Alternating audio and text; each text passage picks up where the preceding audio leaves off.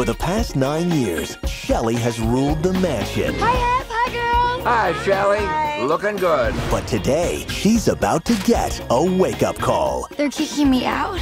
Maybe it's because of your age, But I'm 27. but that's 59 in bunny years. I don't have anything. I don't know what to do. You need a job. Yeah. Job. This summer, It looks like a bunch of little Playboy mansions. She's looking for a place to call home. Do you ladies go to school here too? We're the house mothers of the sororities. This would be perfect for me. This is not a brothel. Oh, I'm not looking to make soup. Try Zeta. Their last house mother was hospitalized with hallucinations. Awesome. Now, Hello? sometimes when you need help, How can we be so smart, but everyone kind of thinks we're losers? Greetings, Earthlings.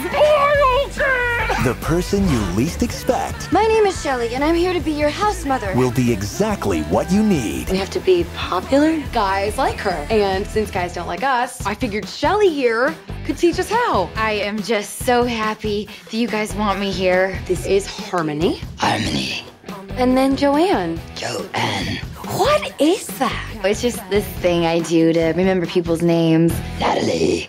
You hired the exorcist. That's great. From Happy Madison, who brought you 50 first dates. Shelley, that's Colby. I'm in love with him. That's so sweet. How long have you guys been going out? I've never even talked to him. By the time I'm done, every girl on campus will want to pledge Zeta. She's changing their style. That's it, ladies. Now we can be the best versions of ourselves. You're pretty pleased with yourself, aren't you? I am a little proud. Don't mess with me. And they're giving her the education of a lifetime. So I met this boy named Oliver. He didn't fall for any of my tricks. I think I dropped some money over here. Maybe it's over here by this manhole. Ah! That is freaking hot! Anna Faris is the house bunny. What if Oliver doesn't mind a smart girl? Have you given any thought to who you might be voting for? Won't listen to what Simon says. He is just so mean. I usually always agree with Paula and Randy. Oh, you meant the president.